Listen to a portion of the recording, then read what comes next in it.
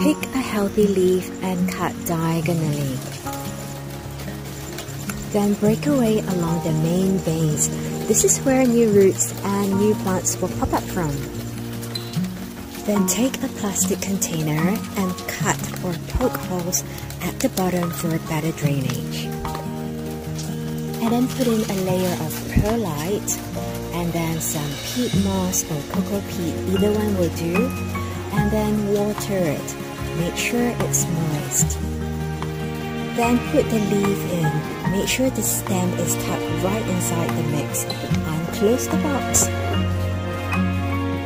A few months later, ta-da!